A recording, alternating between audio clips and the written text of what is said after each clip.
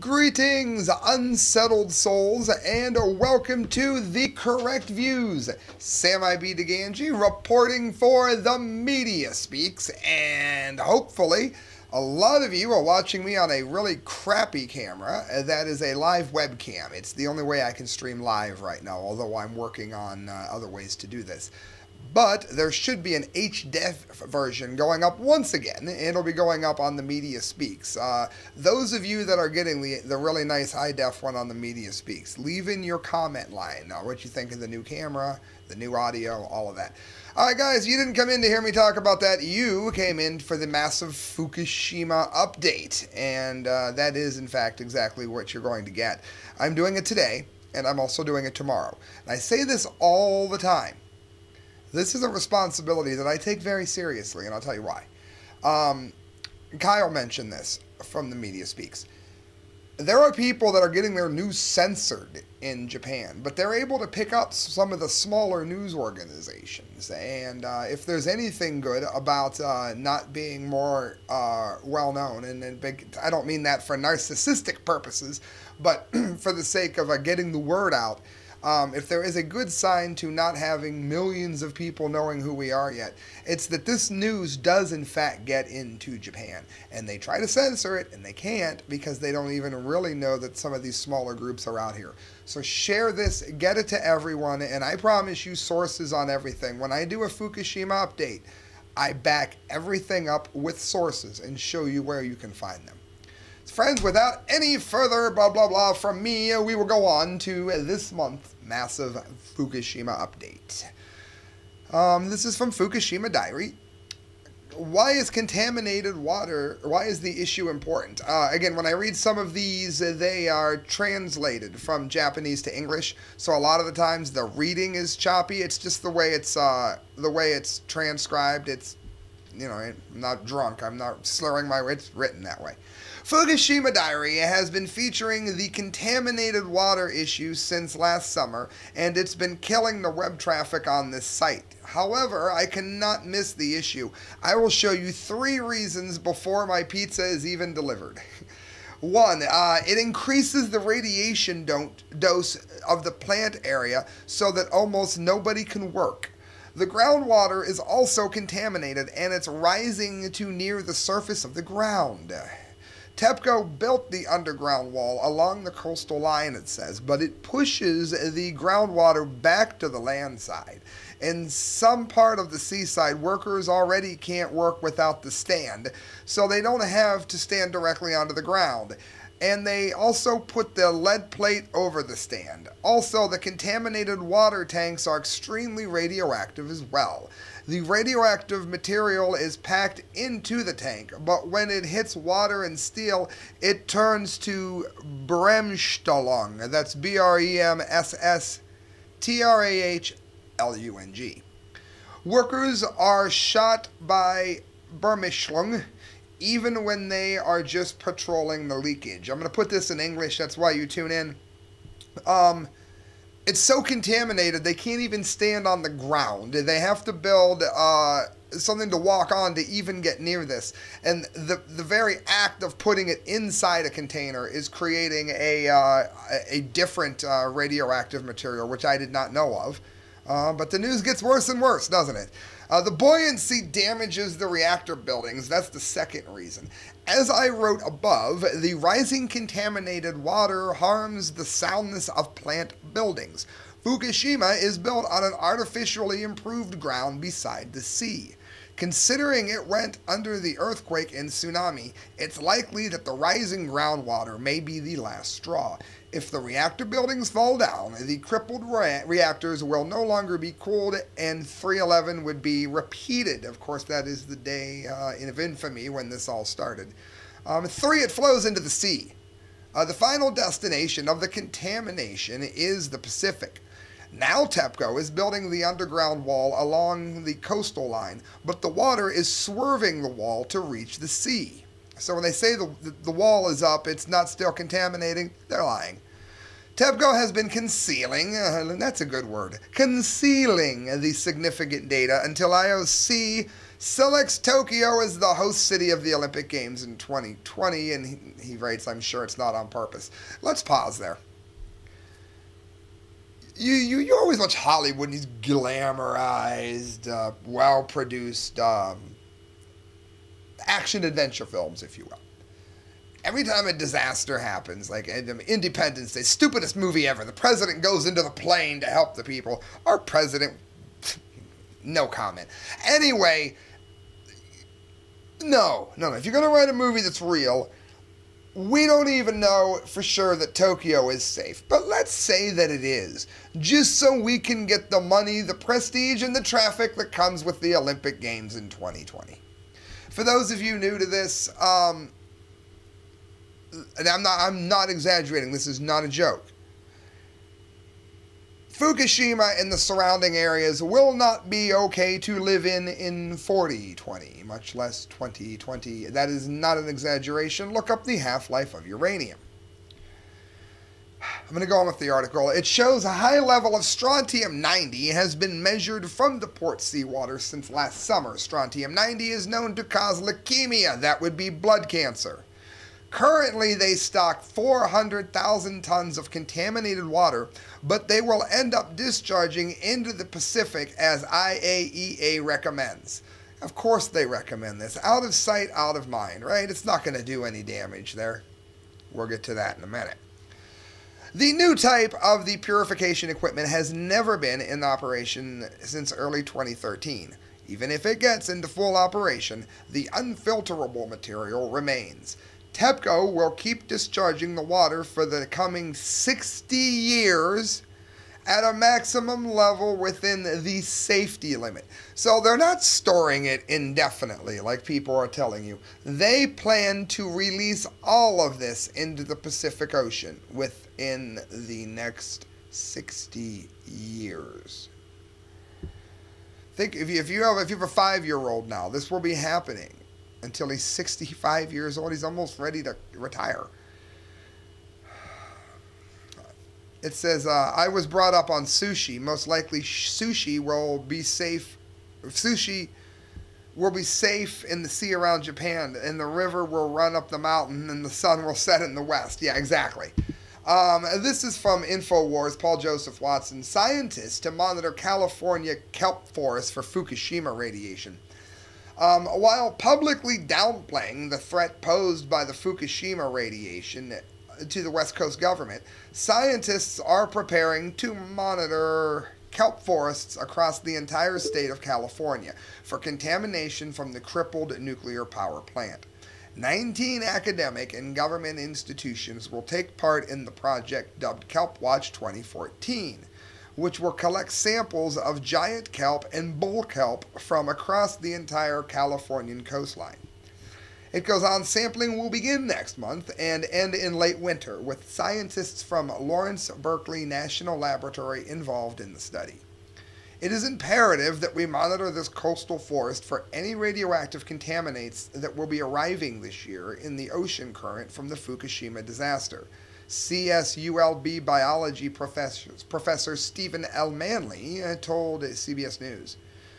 Experts for the Institute for Cross Disciplinary Physics and Complex Systems in Spain have concluded, and there is a link in the article, that the plume of radioactive cesium 137 released by Fukushima disaster will begin reaching U.S. coastal waters in early 2014. For you Lady Gaga fans, it is in fact early 2014. While publicly scoffing at independent researchers concerned about Fukushima radiation, of course, yeah, they say in public they're not worried about it. Public health authorities have been making preparations which many see as being connected to the ongoing crisis at the plant. Um, the Department of Health and Human Services recently ordered 14 million doses of potassium iodide. We went over that last month. Um, if you're new to this, it's uh, what the government would order if they're expecting some kind of an extreme nuclear incident, such as a Unit 4 in Japan falling over. It would it would make the west coast of the United States uh, uninhabitable. I don't care how safe they say it is. Uh, even if you're living there now, I'm telling you, you're shortening your life, and you're going to regret it. You're going to be getting chemo someday and you're really going to regret it. You have got to get off the West Coast. High levels of radioactivity have also been detected on beach in uh, San Francisco. We went over that a lot last month. If you're uh, again, if you're new, go to last month's massive Fukushima update. This is from Debka.com, and I put this in here because of it, while it's not directly related to Japan as the other stories are going to be and as the other ones were it's important to realize all of the nuclear issues that are all around us here because we all know it's a lie when they say that the nuclear industry is not tied into the weapons industry. Of course it is. Uh, that, that's why they put so much money into it. And it's been exposed by a billion people. It's not something I made up. Well, listen to this. Um, Obama withholds from Israel details of nuclear accord with Iran. Tehran denies dismantling its program. Um, it doesn't matter which side you are on, Islamic or uh, Jewish. Building a nuclear power plant in that part of Iran is almost as stupid as the one they built in Fukushima. The same people that predicted a massive uh, earthquake in Fukushima are the same people that are predicting an earthquake due where they're building this plant in Iran. Um, and it, the, and as all this goes on, the worst diplomacy ever can always be found in the Obama administration, as you are about to hear. U.S. President Joe Biden, when he met Prime Minister Benjamin Netanyahu Monday night, January 13th, refused to level with him on the detailed agreements which the Americans claimed were reached by six powers and Iran in their talks earlier this week on the implementation of the first stage Geneva Accord. This is reported by Debka's Files, Washington, and Jerusalem sources. Um, this is the two things they're most upset about in Jerusalem. One, it denotes a sharp decline in strategic relations between the Obama administration and the Netanyahu government and leaves Israel in the dark and an issue of vital concern to its security. Uh, it doesn't matter whether you love or hate Israel. Um, what matters is that this is diplomacy. And if you are trying to create peace, you do not leave people that you are aligned to in the dark. I don't care if you I don't care who it is. If you're going to if you're going to cause peace in a region, you need to let the people in the region know what's going on. Two, it is suspected that there is no implementation agreement at all, and that the U.S. President, Secretary of State John Kerry, and Russian Foreign Minister Sergei Lavrov are repeating the performance they put on three months ago in Geneva. Then they presented a very general framework of non binding clauses, that's important, they didn't promise anything, reached between the six powers and Iran as a genuine full fledged interim accord, when in reality it omitted the details of how and when Iran would dismantle the military side of its nuclear program, and entirely neglected to address the critical issue of Iran's nuclear capabilities on its missiles. So Obama it doesn't just lie when he says that you can in fact keep your insurance if you like it. He can't even tell the truth to our allies. And that matters because Iran is not going to take him seriously either and the diplomacy in this country just continues to go southward. Friends, you're listening to the correct views. Make sure you go to the ArcadiaGrill.com if you get to Canton, Ohio, or if you're anywhere within like an hour or two of Canton, Ohio. It is worth the drive. It is some of the best food you'll ever eat. As I always say, I recommend the ravioli. My girlfriend is all about the chicken fingers. Um, they have a full bar. They have the most delicious Italian bread you've ever eaten. And if you go there on Saturday mornings, they've got a breakfast uh, layout that will just floor you. Um, go to the Arcadia Grill. Let them know that uh, Sam from the Correct View sent you, and you will be enjoying perhaps one of the best meals you've ever eaten. Arcadia Grill. That's where it's waiting for you at in Canton. Friends, I got four more stories on part one of the Fukushima update here. UPI.com. Iranian news agency reports U.S. has been run by Nazi space aliens since 1945. Um, I put this in here because these are the people that want to run a nuclear power plant in an earthquake zone, just like Japan did. Japan, oh, that, that big earthquake will never hit us. We're going to be fine. Iran, Nazi space aliens. All right, guys. Uh, there's more serious news coming up in a minute, but this is important because it states the mindset of people that want to have the bomb. Here's a headline for a story that seems just a bit too out of this world to be true. Snowden documents proving U.S. alien Hitler links stun Russia appeared on the website of the semi official Iranian news agency Fars News on Sunday. No, it wasn't hacked, it was put there. After previously reporting on subjects like the British royal family being Jewish, uh, well, they're tied into some areas there, and Israel's plans to annex Iraq, what? Fars News may have outdone itself by breaking news that the US government has been run by a shadow government of Nazi space aliens since 1945. Please let us run a nuke plant. According to the paper, the information about the secret government of Nazi aliens was provided by NSA leaker Edward Snowden, who, you know, was a, a, a Russian spy, no less, as well. That's also not true. After losing World War II, the aliens apparently adopted to become the secret force behind the United States government and have made President Obama their tool. He's a tool, all right, but I don't think it's for the aliens. Um, for those who were wondering, the Nazi aliens are based in the stronghold in Nevada. According to FARS, Russia's Federal Security Service put all this information into a report that somehow slipped into the clutches of conspiracy theory website whatdoesitmean.com. From the piece, I'm just going to read it. Uh, a stunning Federal Security Services report of the nearly 2 million highly classified top secret documents obtained by United States of Defense run National Security Agency Central Security Service by the American expatriate Edward Snowden states that this information is providing incontrovertible proof that an alien extraterrestrial intelligence agenda is driving the U.S. domestic and international party policy and has been doing so since 1945. Why does that matter? Why? Why am I reporting on this? Because the people of Iran have been brainwashed to where they're going to read this. And a lot higher percentage of them than you think are going to believe that it's true because they've been taught that this news agency never lies. Why am I mentioning that? Because look at the number of people. Um, why is it your band can never get a record deal? Why is it your book can never get published?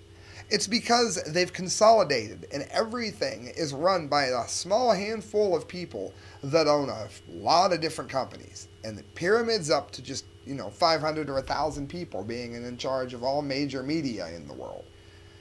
And they dumb people down like this so that when there is a nuclear issue, you automatically believe what they say. Just like the people in Iran believe that Nazi aliens are here. There are people in um, in Iran being told that you know, hey, that, that this nuclear thing, it's safe. It's safe. It's fine. It's going to be good. You can build it in an earthquake zone, and it's perfectly safe. And you've got the ABC News telling you it's safe to eat tuna. It, you know, at some point, you have to realize that we're all being fed a lot of BS um, and clearly a lot of poison fish. Now, this is from RT. Fish testing 124 times over radiation limit caught off of Fukushima. Fish with deadly levels of radioactive cesium have been caught just off the coast of Fukushima Prefecture as scientists continue to assess the damage caused to the marine food chain by the 2011 nuclear disaster. One of the samples of the 37 Black Sea bream specimens caught some 37 kilometers south of the crippled power plant tested at, one, at 12,400 becquerels per kilogram of radioactive cesium, making it 124 times deadlier than the threshold considered safe for human consumption, Japan's Fisheries Research Agency announced. Now, all this time, they've been telling you that, you know, the, the, the ocean's like a big sponge, it's going to soak it all up. That is 12,400 becquerels. That is 12,400 little tiny nuclear reactions that happen inside of the human body, and any one of those can trigger a uh, cancer, a heart disease, a tumor, uh, anything. And depending on what the radionuclide is, it does so perhaps forever. The samples were caught at the mouth of the Nidogawa River in Iwaki, Fukushima Prefecture on November 17th. Two other fish caught there were also treated also tested, excuse me, non-safe for human consumption, showing radiation levels of 426 and 197 becquerels per kilogram.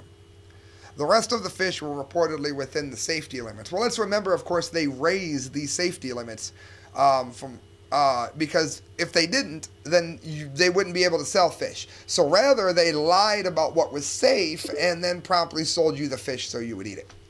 Black sea bream are currently restricted from being fished in Miyagi and Fukushima prefectures and sold for human consumption.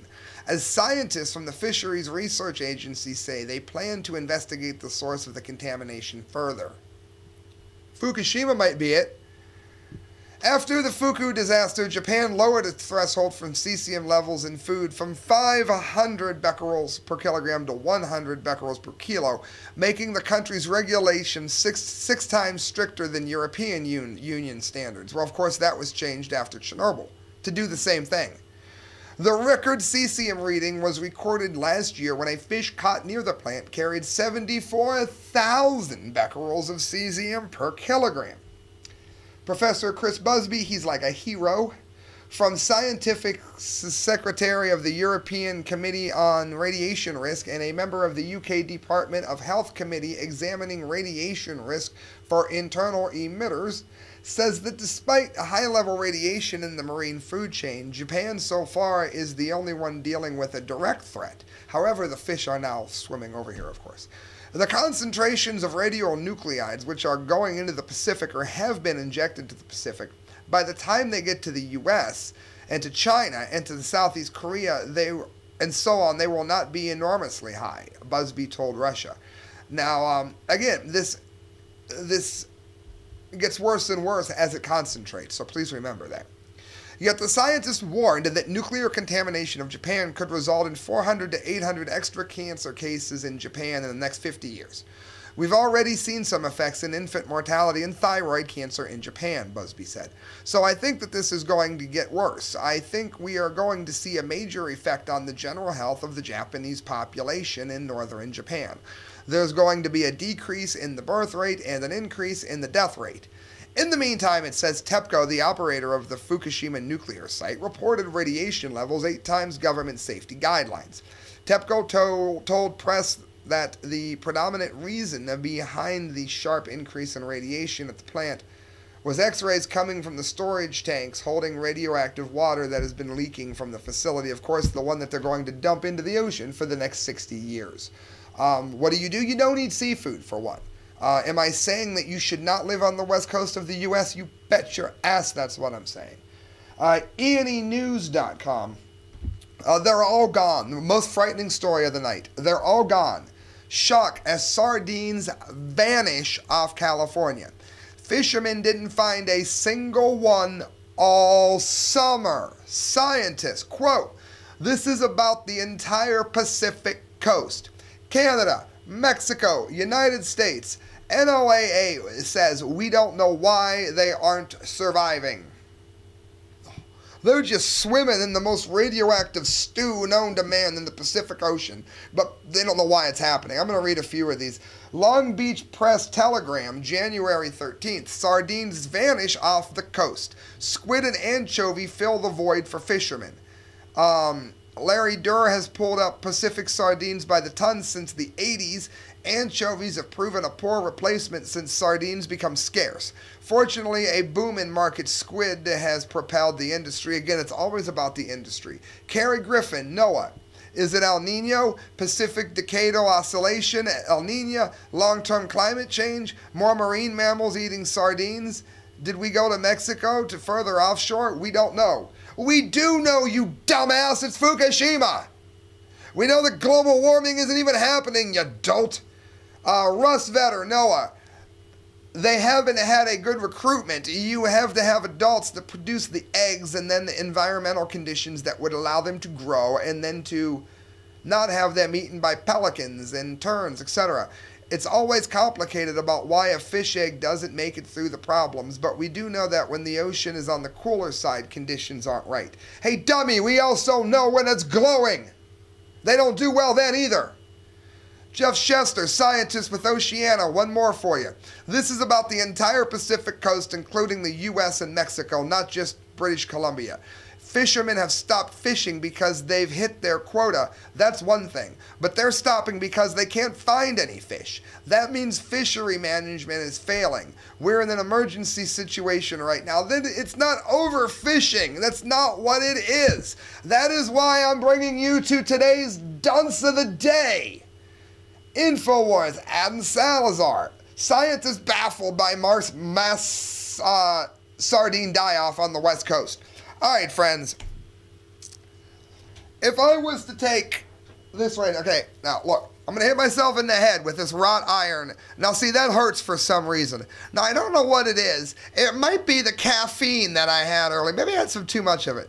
Then again, maybe I'm getting a cold. You know, getting a cold could cause your head. Maybe it's because I'm hitting myself in the head and it's as obvious as can possibly be.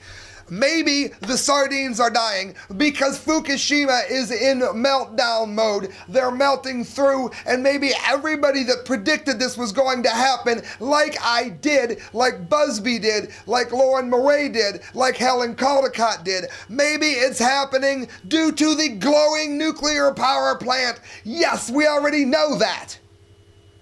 Experts are baffled by a confirmed and unexpected die off of the West Coast sardine population. I'm not surprised. It wasn't unexpected to anybody that's followed this since it happened. A mystery, it says, adding to an already long list of devastating environmental mysteries taking place in the wake of the Fukushima radiological disaster. God bless Adan Salazar. One that follows not only the discovery of various radiation hotspots along the very same coast, such as the 1,400% increase documented by InfoWars, ongoing investigation into the subject, but anomalies such as seen in the conjoined gray whale calves that Mikael Thalen, Mikael Thalen reported on, that we'll find dying along the west coast. Meanwhile, the mainstream media has once again failed to even mention the reality that Fukushima's effects have already been documented within the United States. From studies proving that the radioactive contamination is in seafood, to the admission that 70 plus percent of the radioactive waste from the plant was dumped into the ocean. For you Usher fans, that means most of it. Still, however, the media runs around without a clue. That's why they got today's dunce of the day. Scientists are uncertain of what is causing the biggest sardine crash in generations, which is expected to wreak havoc up the food chain and cause economic problems for those who fish, says the LA Times. Yeah, you know, economic problems. Never mind that your loved ones are dropping over like cancer, like flies from this. Never mind heart disease and shortened lives and a susceptibility to catch every flu that goes down the, the freaking way. At the start of 2011, the sardine population was absolutely booming. Why might that be? Because the start of 2011 didn't see a meltdown yet. In the last 100 years, the number of small fish such as pilchards, herrings, anchovies, sprats, and sardines has been has more than doubled according to the study. That's because in the last 100 years we didn't have four meltdowns going on. Right on the coast. This was said to the Daily Mail, reported in January 2011, mere months before a tsunami slammed into Japan's Fukushima Daiichi nuclear power plant. That's why.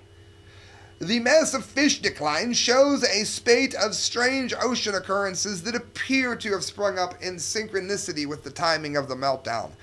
I'm, I'm kind of getting a headache here. What, what a coincidence.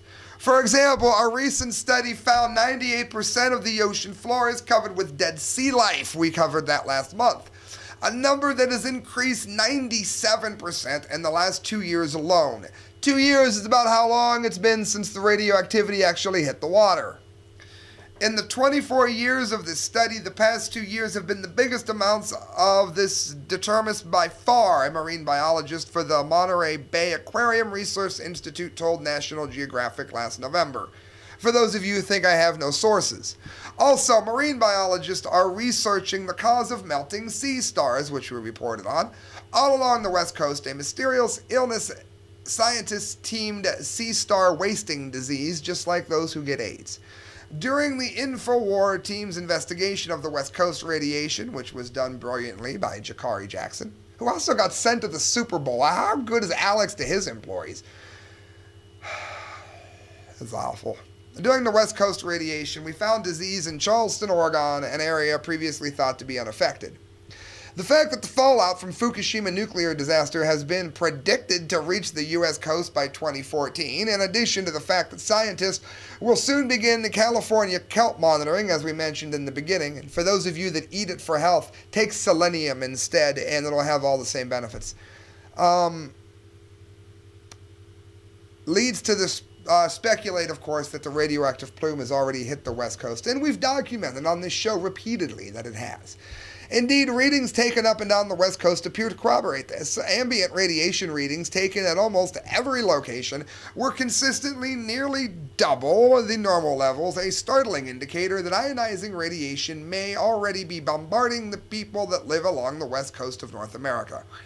The U.S. government's recent purchase of the potassium iodide, it said, adds to it. Friends, that is your D of the day, and that is part one of my two-part massive Fukushima update. Uh, tune in tomorrow. It'll be 4 or 4.30. I'll be giving you part two. Also, do you like the dunce cap of the month? Because I don't know if I'm doing this one this month. I'm going to keep the dumb of the day, but if you guys really like the Fukushima update, I'm um, really like the dunce cap of the month, leave it in the comment line or I'm going to quit doing them because they're kind of expensive. You can donate to the show and help me do more of these more often by going to the correct views at hotmail.com. Uh, thank you, friends, for listening. It's Sam I Be of the correct views is signing off. Go to themediaspeaks.com. Look up the work of Kyle Court D. Lake and myself. And protect yourself, people. Protect yourselves. Try to hit about 3,000 milligrams of vitamin C a day. Echinacea, cinnamon, fish oil. I can't overstress selenium and calcium. Look up Guz, uh, Chris Busby Fukushima calcium. It'll give you everything you need to know on that.